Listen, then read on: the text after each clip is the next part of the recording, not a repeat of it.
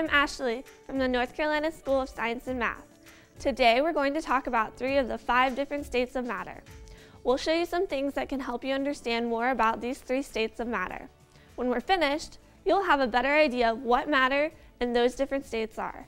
We'll even learn that different states of matter may appear in one substance. While watching the video, feel free to pause at any time. Here's what you'll need to do the first experiment in this video. For our second experiment, you'll need these things. This is what you'll need for our third experiment. You may also want to work with a partner. Let's start talking about matter.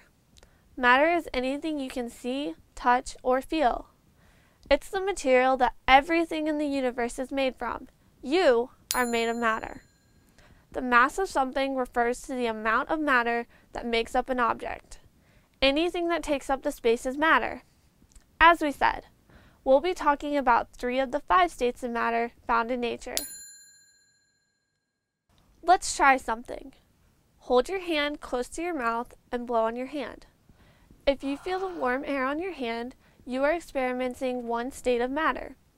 Next, try touching the tip of your finger to your tongue. Your fingertip becomes wet with saliva. This is another state of matter. Now, touch your hair and your nose. Can you guess what state of matter these are? A solid is any material or substance that is not a liquid or a gas. Solids have a definite shape and volume. A cube, pyramid, or sphere are all solids.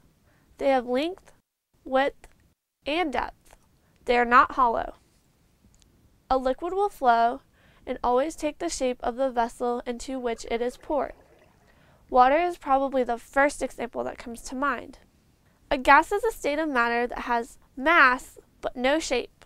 It also fills and takes the shape of a container. The air we're breathing right now is a mixture of gases. We're going to try some experiments with different states of matter. We're going to make a hypothesis, or an educated guess, about what will happen. Then we'll observe, record, and interpret the results. Let's pause the video and get out the materials we'll need for our first experiment.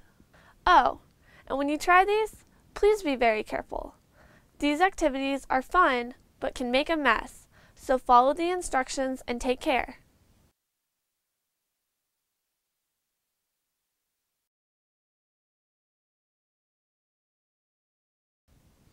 To do this first experiment, it's important to use a bag without holes.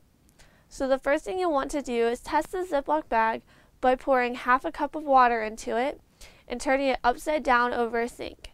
If it leaks, get another bag. With a partner to help, take the now empty Ziploc bag and pour 1 4th cup of vinegar and 1 8th cup of warm water into the bag. Take a piece of paper towel made into a square measuring roughly 3 by 3 inches per side. Put about 1.5 teaspoons of baking soda into the center of the square. Fold the square twice to make a little packet.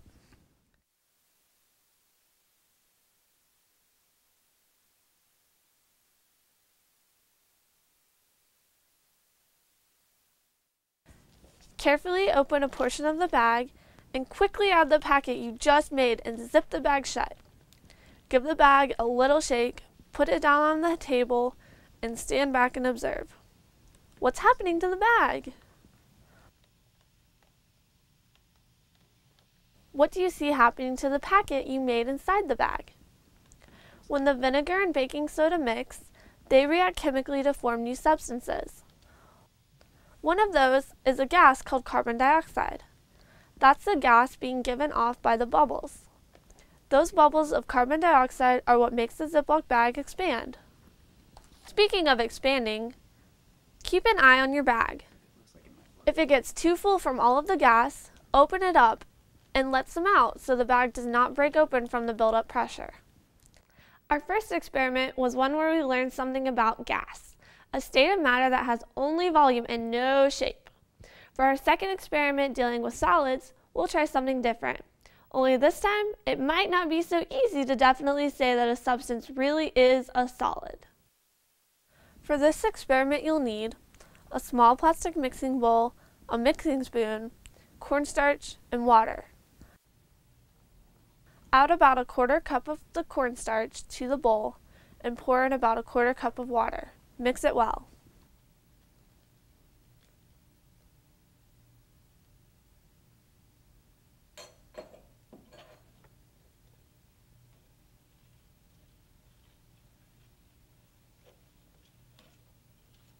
Keep adding cornstarch or water until the mixture looks glossy, but is firm to the touch. Touch it with your finger in several places. How would you say it feels? Take the mixing bowl and tilt it to one side without spilling it. What happens? Remember what we said about liquids and how they flow and change shape?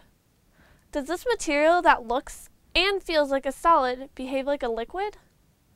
Now, Roll some of the mixture into a ball and hold it on your hand. What happens to it? Some materials like this cornstarch and water mixture can act more like a solid when treated in a certain way and more like a liquid when treated in another way.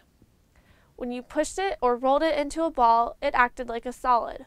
But when you leave it alone on your hand, it forms into something that acts more like a liquid. Why is that? Well, the water, a liquid, and the cornstarch, a solid, mixed together to form something called a colloid. A colloid is a material that consists of one substance suspended within another. The suspended material is comprised of particles so small that they don't sink to the bottom of the second substance. Together, the two materials display properties that are different than those of their separate parts. When you add something like sand to water, you get two different things that stay separate. In other words, the sand, which is a solid, and the water, which is a liquid, keep their individual states of matter.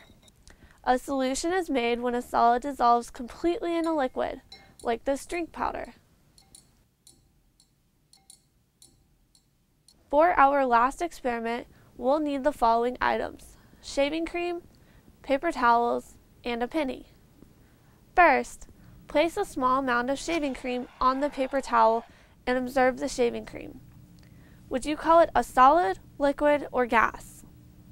One of the characteristics of a solid is that it keeps its shape without being in a container. But would you say the shaving cream is a solid? Why? Or why not? Now, take the penny and carefully place it on the top of the shaving cream. What happens? When you observe the shaving cream, did you change your mind about whether it's a solid, liquid, or gas? Rub some of the shaving cream on your finger. What state of matter does it feel like? Now take the shaving cream blob and leave it out overnight. What's happened? How has it changed? Once again, we've seen that it's not always so easy to definitely say that a substance is a solid, liquid, or gas. When we were working with the cornstarch and water mixture, it acted like a solid when treated one way, and more like a liquid when treated another way. The shaving cream seems to have unusual states of matter as well. That's because the shaving cream is a liquid soap with lots of gas bubbles in it. The gas makes it thick and frothy so it keeps its shape and supports light objects like a solid would. When you allow the liquid from the shaving cream to evaporate, all that's left is a very light and thin solid soap and the space where the gas bubbles once were. Today, we learned some of the principles of the three states of matter solid, liquid, and gas. We learned that solids are different than liquids or gases. They are matter with a volume and a shape. However, liquids flow and take the shape of the container they are in. A gas is a matter with relatively low density and no shape at all like the air we breathe, which is a mixture of gases. Thanks for watching, and I hope you continue to learn more about solids, liquids, and gases in school and on your own.